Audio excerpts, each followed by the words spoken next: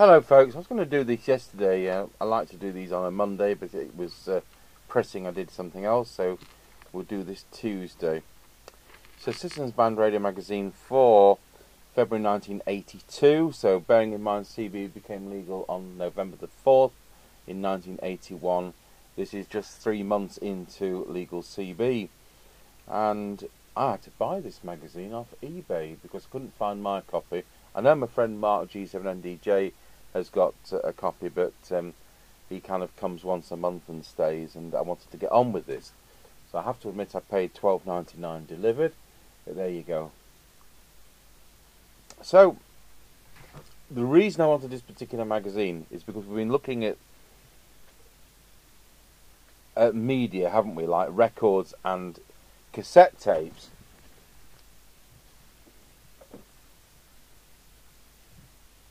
So we've got a 1978 record. We're going to be doing this Friday, which is this one, the one with the lady on the front, American record. That American record was a lot better than the uh, UK record with the frightfully British uh, Time television announcer, but um, it did have its errors. We were getting things muddled up. So, yeah, that's going to be a good record. So that's Friday. Then next Friday, We've got another two cassettes here, and we're going to see if they're in this magazine. We've got the official guide to CB radio from Sound Products, and we've got the Davy Lee Travis CB guide from Radiomobile. So perhaps when you spent £119.99 on one of their radios, you got a cassette. Now these are copies which my friend David has very kindly made for me. Um, he's not sure of the quality of this one, but he's sure of the quality of this one. So we'll see with those uh, in a couple of weeks' time. So that is fantastic of David to do that for me. We want to proliferate this kind of material, don't we? This is what my channel here is about the information and, and these magazines. Um, I'm the kind of person who buys this magazine for twelve ninety nine and then scans it and uploads it for free use. So it's a video, isn't it? The CB video. Can't say I've seen that. Anyway, we're going to look at this because some really good adverts. We've got the Rotel advertisement with the RVC 240 on the front. So that's nice. I think I've uh, scanned some of these adverts. I have them, have some framed um, pictures like this around the house. Don't have pictures of from Constable and Monet and people like that. I have CB adverts. I'm not even a CB. There we have the Kaiser products. I don't know if we ever saw that.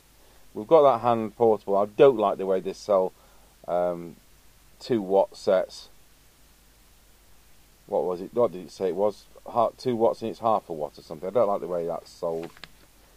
Not, I've not seen that. Now, yeah, who's this guy? Well, it's Mike Devereaux, and he's the CEO of Nevada.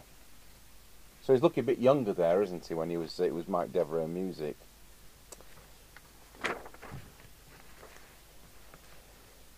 Usual questions and answers. But you see some nice pictures like the um, Binatone Route 66, somebody doing a 934 meg SWR meter. Because of course back then we've got 934 meg 20 channel as well. Ford were going to produce two radios to go in their motor cars, and it was the 201 and 202, no, the 505 and the 202, something like that. We've covered them both on this channel. Another one to scan and use as a as a picture. We didn't get many Cobras, did we? We got this this 21XFM, which of course is the same chassis as the Midland Precision series and the Maxcom 4E, for £79. They did that emergency set, the one with the uh, flip out red top, and then we got a hideaway set in the 90s, early 90s, followed by another hideaway set, which all the electronics is in the headset, handset, so it gets red hot. Really not a good idea at all. But the first hideaway is a, really, is a nice set, uh, but not the second one. And then it went downhill from then onwards, and all very swish looking, but dire performance from then on. Go to the French Riviera and have a camping holiday. Alright. Another one to scan and frame the Amstrad 900, always made in Japan, 901.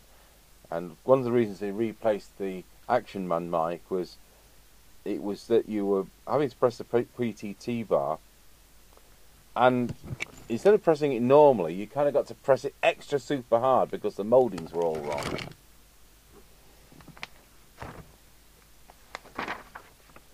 And then they're doing a review on the Amstrad, but their reviews weren't very technical. And oh dear, oh dear, you know, they, I remember them doing the Fidelity 1000 versus the York 861, and they were very diplomatic with the Fidelity 1000. And you need to know this is the trouble when manufacturers start um, giving you things to review. And I know Thunderpole's kindly given us that um, T3000 we're using the test car. And I said to them, I mean, I, I already knew it was fantastic, but I did say to them, I will say the truth. You know, if it if it, it comes out of the box not doing four watts, I'll say so. Um, then Another one of the Edgware Road um, people doing CB stuff. Now, here, this is what this is what we've come for. This is it. So, some of these books, I'm going to zoom in. We'll kind of look at them in blocks, and I'll try and line them up with the um, camera.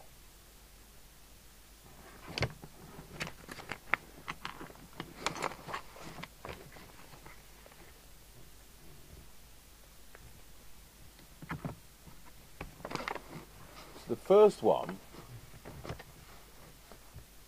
CB Jargon by Wheel and Deal Publications, the EC Bowcott Research Team, team PO Box 20, Birmingham. CB Radio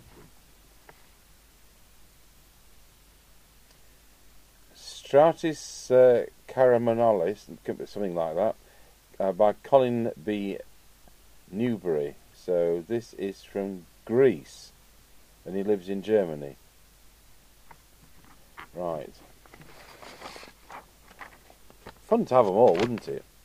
I, I do have some of these books, but I'm, CB Radio, a handbook, Richard Nichols from Starbooks.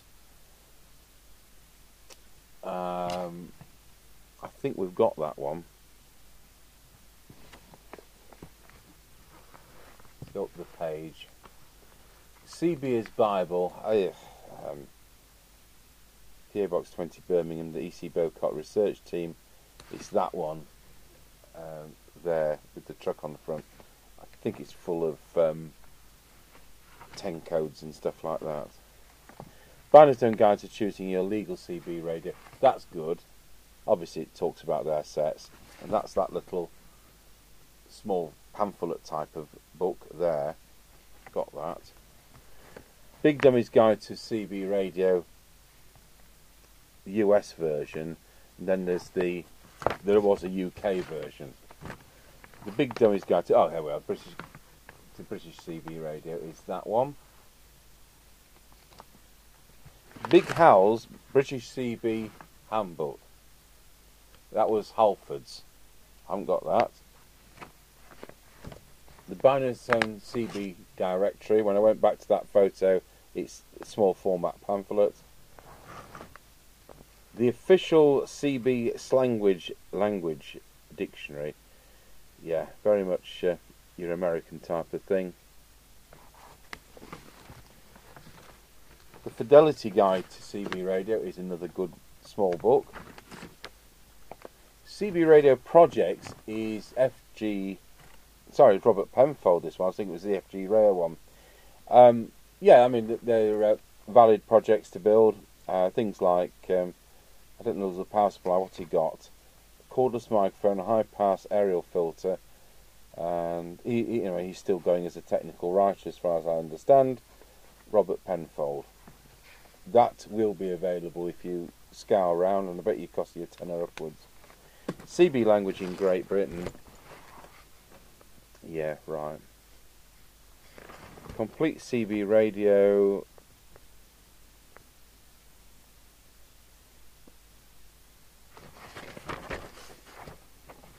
The British CB book, uh, Chippendale. I don't think he's a Chippendale in the strippers. I only, I only know that because I inadvertently, when when I worked at Nottingham Radio, I had a flat above the premises because it's uh, like 35 miles. It saved me commuting, and it was it does help security when you've got somebody on the premises. And um, I'd got, um, I mean, I don't have TV, not have TV since uh, 2000 when it went digital, but I did have TV, and there was um, it was diamond cable back then in in Nottingham, and I had uh, some bottom of the range package uh, for that and uh, I record time I recorded something off. Um, it was a black and white um, film channel. I think it was called Bravo, and it was all black and white films and from the 30s and that. It really appealed to me. Anyway, I time recorded something to come to record at like quarter past four in the afternoon.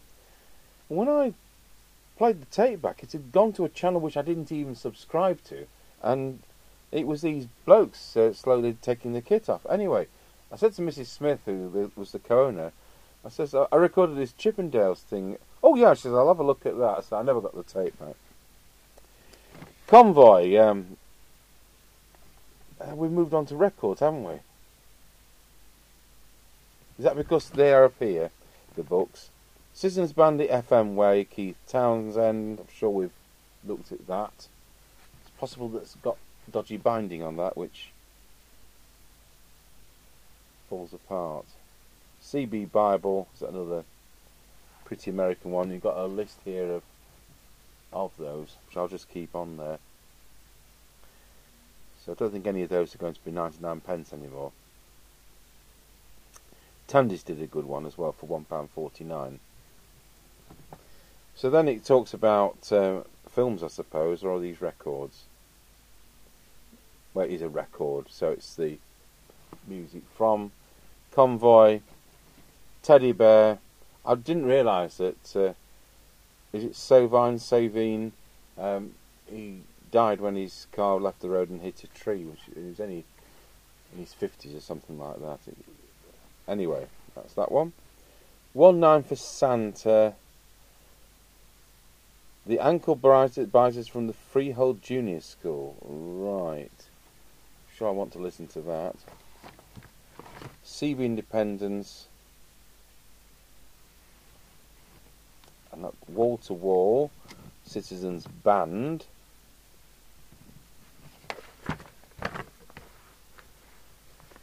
Uncle Charlie said Roger D. Freewheeling Rap, Barnsley Hill. CB Baby. I've got a list of these anyway, and again I'll keep that on the screen for a bit. Convoy and 10 super trucking hits. The CB song from Citizens Band.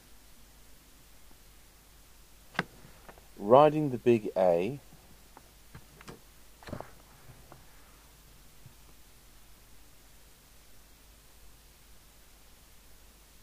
Here we go.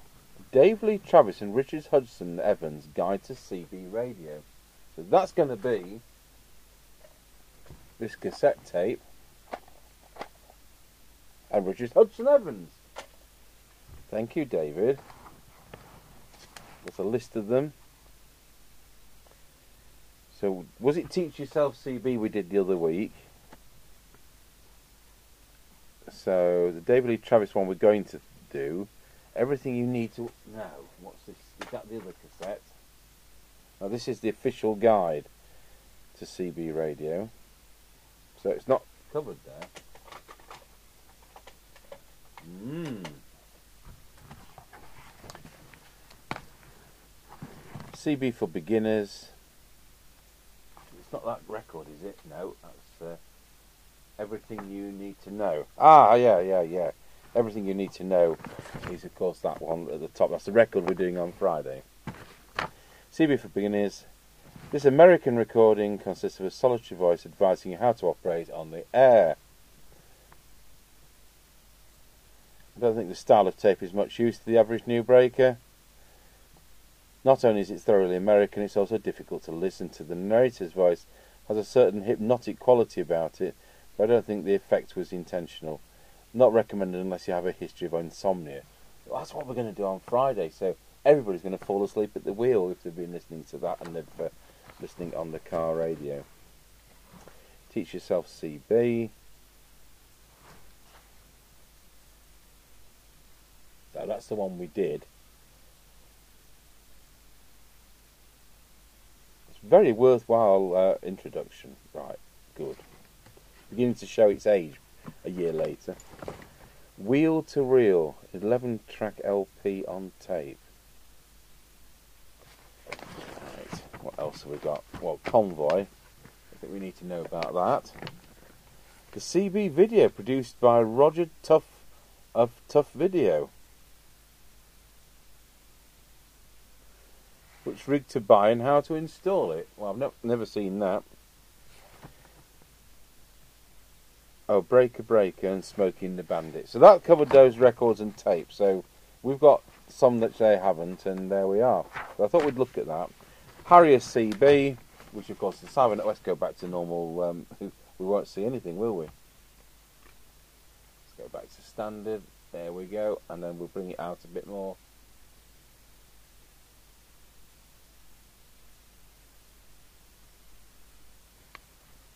Like that. Lovely set. Um, Cybernet 134, it can't go wrong. And no silly knobs that do nothing. Just on that volume squelching channel. Interceptor TC300, yeah, it's a bit of a funny set that, isn't it? Um, I can't say they work brilliantly.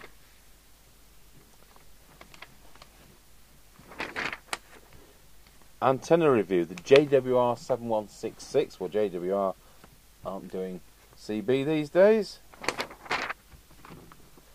Farmers. Well, of course, we get a lot of that around here. I'm in the middle of a rural area. Ham International. Did they do anything for the UK that was actually illegal? Index to 1981 CB magazine. The Chelsea CB Centre. The Colt 295. When we did the 295A last week. Custom equip. About aeroplanes.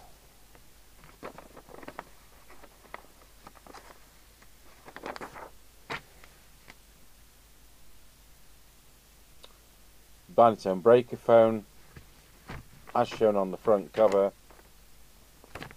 Uh, so you've got a remote, extended local remote set. You wouldn't want this in the car because the cops would think you're on a blooming phone, wouldn't they? An old-fashioned car phone with a curly cord. Uh, I do like some of the technology in this. It's not the best working set in the world, but they usually do nearly four watts, and uh, the only thing really weak-wise is squelch. But uh, one of the nifty things is the chipset it uses. It uses the synthesizer chip, the Sanyo LC7137, like a lot of sets do, but it also goes on to use some serial data chips and a scan generator chip done by Sanyo to go with those phase lock loop chips. It's 71817191. So instead of having, it's got less, I'll start again, it's got less wires going up this handset than most of the others because it uses serial data. Now the Audio Line 342 remote also uses the chipset, but this does go one stage further. And when you switch to PA, it niftily says PA on the digital display uh, which is part of that chipset capability. And at the time, back in 81, that was pretty cool. Of course, they probably hate it. Theirs did 3.9 watts. Of course, I don't know what they're measuring it on, do I? Midland Telecom magazines. Oh yes, the Grandstand base station, Barracuda HP 940. Trans Interceptor transceiver 7995. Club news. Unless you've got your photo in this, it's not really very interesting.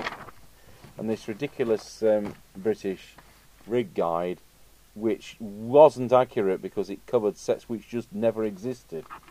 Let's go through this and try not to waste too much time. Air Bear UK never actually did the RHB 35. I wrote to them and got the letter returned. So let's look at the Binatone breaker phone, beam breaker, Route 66, Long Ranger. Now you've got the Long Ranger 6 channel, 12 channel, and 40 channel, so it became three. There was also the 2 channel, um, 200 milliwatts. The power base, never, the base station never happened, and the speedway did happen. That was Cybernet 134. So we've just looked at the breaker phone. The beam breaker is a uh, Falcon FCB 1281 stroke compact 40. Um, we know that what the Route 66 is is quite independent, and the Speedway is a Cybernet. So there we are. The one and only Cobra is the 21XFM. The Colt 295 is the same chassis. Cybernet 1000, 2000, 3000. So you've got Cybernet 135, Cybernet 135, Cybernet 134. DNT base for B40. Uh, we did one the other day, which was troublesome. The M40 uh, mobile again, they are troublesome these days with the three crystal mixers and the uh, dry joints. They were dry joints when they were new, I, promise you. I don't get on with these, but I do know that um, um, some people do. Um, they're only half watt handhelds, and again, they're sold as 2 watt, but that was the German way of advertising. Don't like it. CB1000, CB2000, later they did the 2001, they did the 3000 base station. The 2000 is a Cybernet 134. The 2001 is a Cybernet 002F as used in the genuine Amstrad chassis. And here comes the one, Grandstand Bluebird, made by a company who do marker buoys these days. Really good quality. Buzzing Bee never happened. Mercury never happened. Uh, Grandstand Communicator never happened. The Hawk, I've got one in bits on the shelf, which I bought in bits with a smashed front. We could mend that. Uh, Interceptor didn't happen. Gemini, we've got one of those. I never saw the Apollo. So a lot of this was never happened. Uh, Great never did one under their own name. Ham International never did anything for the UK. I wrote to them and they said no. Harrier, CBHQ, Mobile, yes, all those happened. Harvard, 400M, we've covered one of those recently. It uses the CB240 chassis like the Alba CBH1 8 CBM1 does. 402's the Cybernet 002F chassis. 420M is one of the best sets ever made, uh, using the top end version of the Cybernet 134 chassis with the bigger speaker.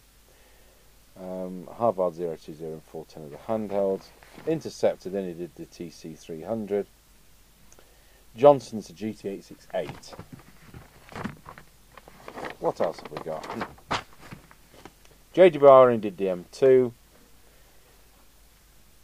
Uh, LCL it was the 2740 we ended up getting. They did the Major 3000. I think Matey's got Matey at Nottingham's got one of the other ones as a pre-production. Microlink never did anything. Midland 2001, 3001, 4001, uh, 810, which we did the other day, the emergency set. The handheld, which is a 720, I think. That could be there. They also were going to do a, a really basic base station that never happened. The Oscar 1 from uh, SMC, um, high end uh, Cybernet 134 with a tiny little meter. Not many knobs on it, but a really good set. Radio Mobile 201 and two. The Cybernet 135, Cybernet 134. The PE Ranger was that either in a kit or build it yourself from scratch from the Practical Electronics magazine or buy it ready built from Autumn Products. It says Modus Systems here.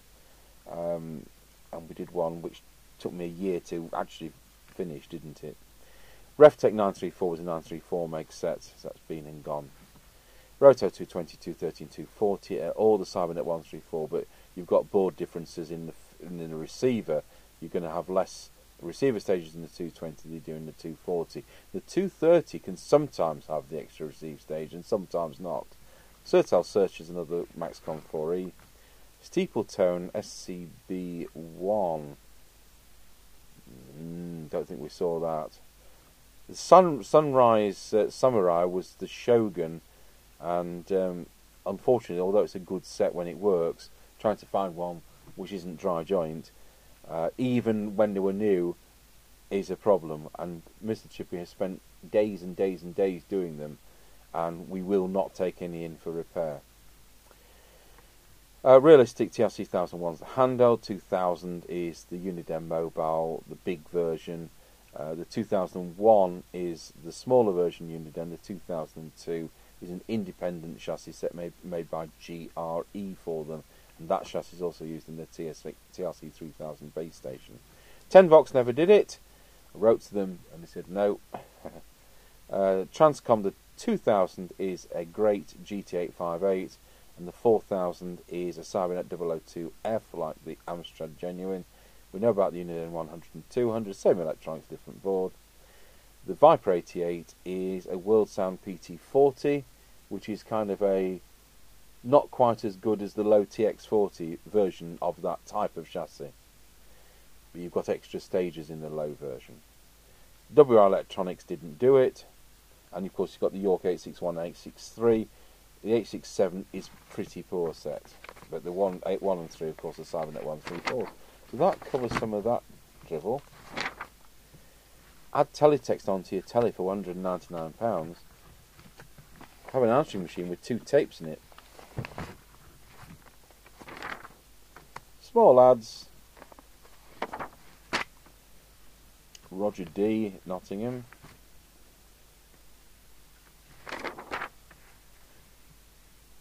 and Globe Communications never dealt with them. What we got on the back.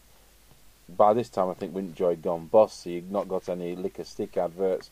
We've gone to the K40.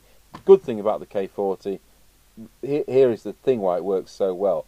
The cable on the K40 is like military grade, which we would use. That's the secret behind it. Um, really good cable. Right, so there we are. That's a look at February 1982, and hope you enjoyed that. Thanks for watching.